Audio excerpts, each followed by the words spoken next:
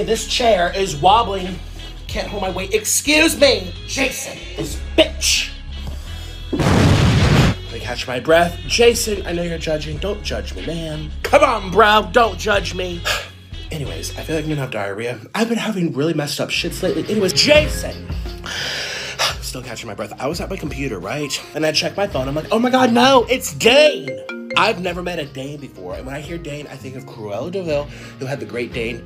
No, she didn't, but it was like it was it was the it was like that black dog that helped people cross the street. Wasn't he a Great Dane? Dane contacted me, right? And he told me something very special. Are you ready for it? You better be sitting down. Park that dumpy on the couch now. I don't know if you got a dumpy like me. Actually, I don't have a dumpy. It's flat. This is There's no. So I have cottage cheese ass. But I have something to say to you, mister. Are you ready?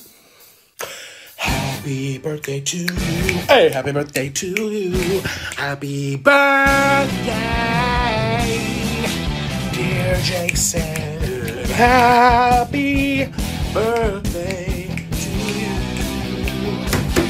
you. Yay! I'm literally sweating. That was too much work. Anyways, Jason. Happy 31st birthday. Well, have a wonderful day. Eat whatever your heart desires. Eat some yummy, yummy food, obviously. Um, Dane told me not to mention your secret tattoo of Yoshi on your, your tramp stamp area. And I don't even know who Yoshi is, so we're gonna Google this bitch. Let's see, who's Yoshi? Oh!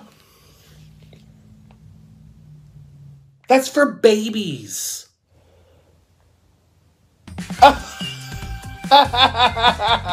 this is, you have this on your body. You have this shit on your body. What? Dane told me not to bring it up, but I'm gonna bring it up.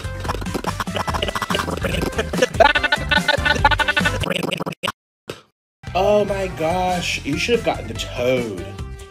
Oh my gosh. Looks like a penis head. That should be mine.